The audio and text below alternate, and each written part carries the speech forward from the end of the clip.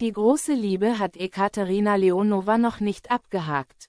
Zu den Wünschen der Tänzerin fürs neue Jahr zählt auch ein Traummann. Ihr Single-Dasein nimmt sie aber mit Humor.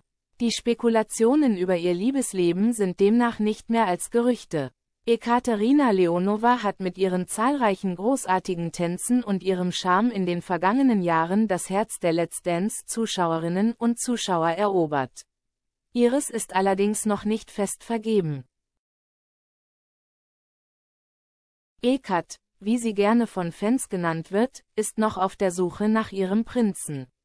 Auf gar keinen Fall, antwortete die 37-Jährige auf eine Frage der Bild-Zeitung ob sie die große Liebe aufgegeben habe. Gesund bleiben, meine Familie öfter sehen und der Prinz auf dem weißen Schimmel, seien demnach ihre Wünsche für das kommende Jahr. Familie und Freunde seien der Tänzerin sehr wichtig. Sie telefoniere häufig mit ihren Liebsten. Gerade als Ausgleich zu meinem beruflichen Leben brauche ich bodenständige Menschen und ganz viel Austausch mit denjenigen, denen ich blind vertraue und die immer für mich da sind.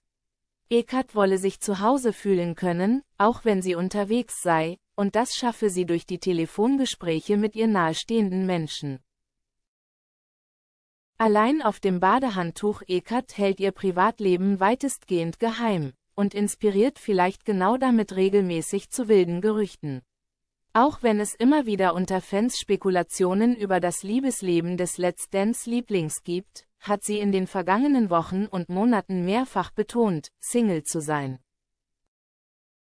In einer Instagram-Fragerunde erklärte sie beispielsweise Ende März humorvoll auf die Frage, ob sie einen Partner an ihrer Seite habe, wenn ich einen Freund habe, dann genieße ich die freien Tage mit ihm.